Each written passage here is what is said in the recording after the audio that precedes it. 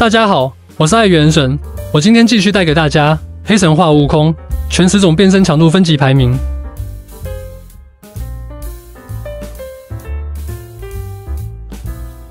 好吗？大家好，黑神话悟空一共有十个变化，很多小伙伴都是广智用到底啊，其他也没怎么用。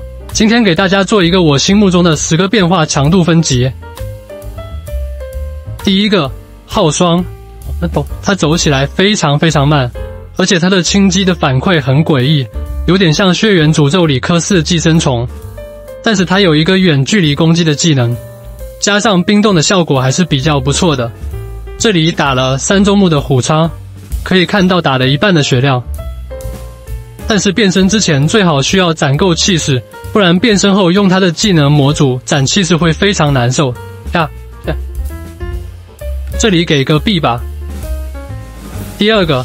玄渊也是个冰属性，攻击手感非常好，自身攒气势也比较快，移动和闪避也比较顺滑，能把棍式转化为气势。发动云来后，刀能发出刀气，能把一些敌人打出硬直。虽然距离上不如刚刚的浩霜，但是在 BOSS 战中，刀气能够够得上敌人拉开的距离，这就足够了。攻击力很高。上冰冻异常能力也不错，虽然每次用的时候感觉时效很短，只用了一会儿就变回来，但是也达到了伤害预期，这里给个 A 吧。第三个，必成哇，我承认它在某些特定场合有特定的用途，在一些攻略里甚至可以打掉二郎神的一管架势草啊，但是更多的时候是靠高防御力冲过 BOSS 的狂暴阶段。然而高周目 BOSS 攻击非常高的情况下，这个就不太够看了。加上他移动转向非常非常慢，敌人稍微移动就打空。啊，这里给个 C 吧。第四个偶薄，唯一毒属性变化，伤害不俗，而且给怪上毒能够持续扣血。但是主要输出手段虐己，上来就扣一半血，而且这招是强霸体。如果 BOSS 一套连招把你剩下的半血打没。基本上就是刚刚变成藕薄，立马就空血变回猴子，玩的就是个转瞬即逝。如果你成功在半血状态给 BOSS 叠加四层虫卵，然后发动法术攻城，那会立刻补满血。但这个时候你的神力也不多了，到了要自爆的时候了。这个变身打出高伤害的条件比较苛刻，所以给个 B 吧。第五个赤潮，也就是广智，没有什么好说的。就凭他陪了大多数玩家一周目大部分的时候，也值个 A。在水火蓝每周目可以拿一个的情况下，高周目也有一战之力。第六个灰泽和广志同为火属性，轻攻击很顺滑，移动也不错。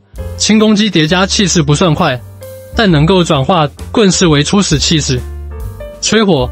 范围广，伤害高，上火焰异常快，而且可以打出一些低韧性怪的硬直。最后的自爆更是 A O E 的首选，所以这里也给个 A。第七个金兰，轻击手感不错，闪避非常丝滑，轻击轻击加重击可以对低韧性怪打出硬直，对高韧性怪随缘出石破，石破三段后三千阳春伤害毁天灭地，一个。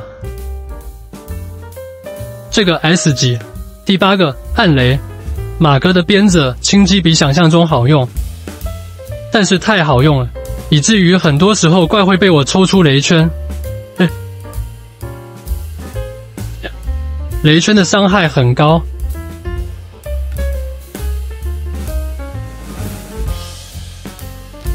但是很多怪都是多动症，很难吃满伤害，有的怪还死活不进圈。这里就给个 B 吧。第九个乌川，六丁六甲，从不吃素，可以把棍式转化为气势。虽然动作比较慢，但是用格挡积累气势的速度很快。气势一满，进入萨踏状态。萨踏期间伤害很高，进退自如。唯一缺点就是神力消耗非常大，没打几下就变回来了。所以最好是攒满棍式，然后再变。这里给到 S。第十个青琼可以使出巨气化形、身外化身，红头铁臂，救命毫毛。对，救命毫毛，对，就是二周目开的那个技能。对，如果你装备了救命毫毛，你的变化被打死了，它会立马满血复活，并且增加一部分的神力。青虫可以续四管，伤害高，受到冰火伤害能够加强自身伤害，不吃毒也不吃雷，个人认为是最强变化。